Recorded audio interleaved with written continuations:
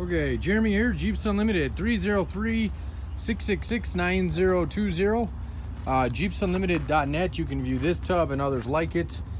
And uh, yeah, let's uh, get started. 87 and 95, bolt-on. Um, if you want to know specifically the year, it is a 1994. But again, it will bolt on 8795. And a lot of people use these right now for CJ7 tubs because although there are a couple mounts that are different on the bottom, they're fairly easy to adapt a frame, a seven frame, CJ7 frame to them. So, and they're usually a little bit easier to get a hold of. So this thing has its shares of dings, dents, um, scrapes, scratches, whatnot, but uh, it's virtually rust free and I will show you everything uh, on it. Take about three, four minutes. So if you have the time, uh, without further ado, I'll get started for us. Uh, cowl area up here is nice and smooth, meaning there's no damage here. This is kind of an area people like to make sure, um, especially the top of the windshield frame where it mounts, that oftentimes rots out on them. Firewall is uh, got a, this is pushed in here, so this will need to be pulled out. Um, this probably happened in the yard from storage. Um, this is factory, just this part here, and you can get access from the other side. So a little bit of body work on the firewall. Uh, all the bolt holes, uh, fender mounts, all that are all good. Nothing's broke off in them. This has got a nice size ding. That looks fresh. Probably somebody in the yard here. Um, let's go down to the lower uh, rocker panel. This is all nice and solid, pretty straight here. A couple of scratches in it. Um, back to your rear, rear wheel well. This is your passenger side we're looking at, passenger rear corner. This is all nice and solid. Um, does look like it's got some filler in it. Uh, does, has some sheet metal back there, but uh, for whatever reason, maybe this corner was hit. Um, but you can definitely see the thickness of that, and it's hard to see maybe there. But so that place there, if you're looking for what work may need to be done on it, um, it's been done well, but uh, something you should be uh, at least know exactly what it is. And then this corner here is pretty dinged up. Um, there's no sheet, there's no filler here. So this is actually, this hasn't been damaged at all here. And you can see kind of there, if I can focus, that's just all, all metal. Um, this here is dinged in pretty good. But again, you can get behind it and be able to pull this guy. Um, and then going down to this rocker side, obviously some Bondo work here. Um, up you can kind of see the cracks in it.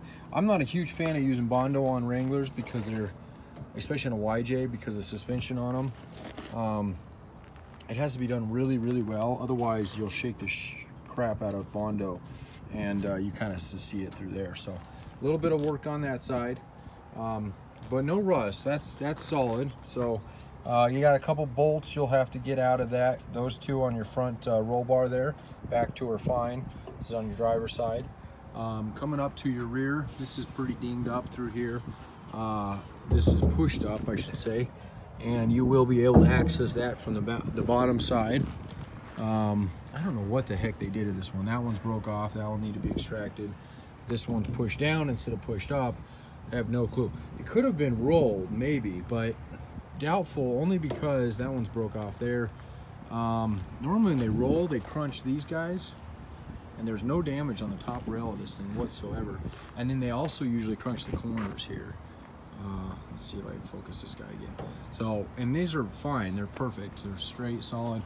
Uh, the cowl area, again, on this side is nice and clean. Coming down here. Floorboards are solid. Um, the back's not wavy or bang, banged up like that. The front tunnel area, this is that. You can kind of see uh, what we were looking at from the other side here and here. That damage there.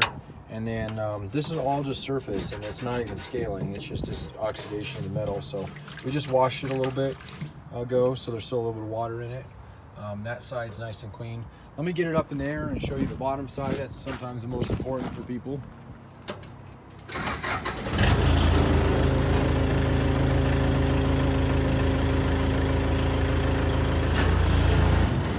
Okay, so what we're wanting to see here is that almost entirely all the frame mounts, there's one up here, it's hard to see, it's kind of another fork.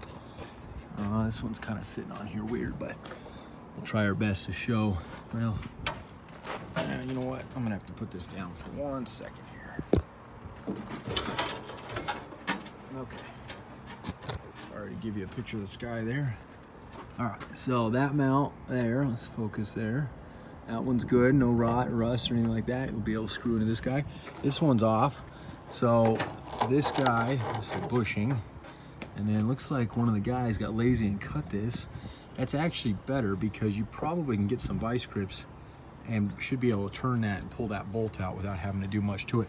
But you can see how clean these pockets are, torque pockets or whatever you want to call them. These go to your frame as well as this guy goes above your gas tank, driver side. This is your corner frame mount, passenger rear corner frame mount, above your gas tank again, and then back down to your channels here. And this one is same thing, broke off.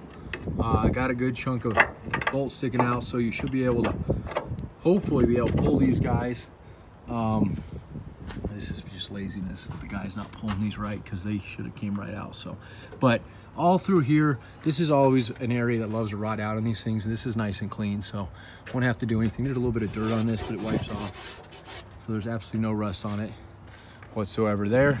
And then back up to here. So made this a little longer, but this one has had a little bit more to show. So 303-666-9020.